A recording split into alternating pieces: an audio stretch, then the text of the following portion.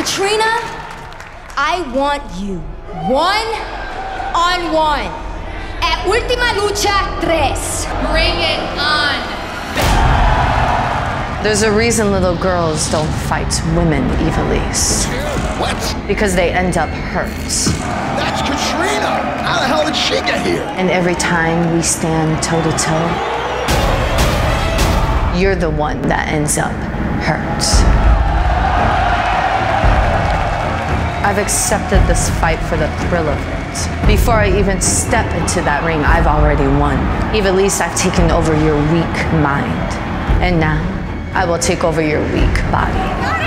Ivelisse had a shattered ankle before, and now Evie is clutching at her ankle, crying, shaking her head.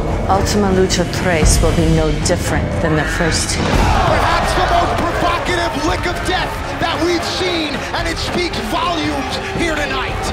Death is coming for you, Ivelisse. And this time, you're all mine.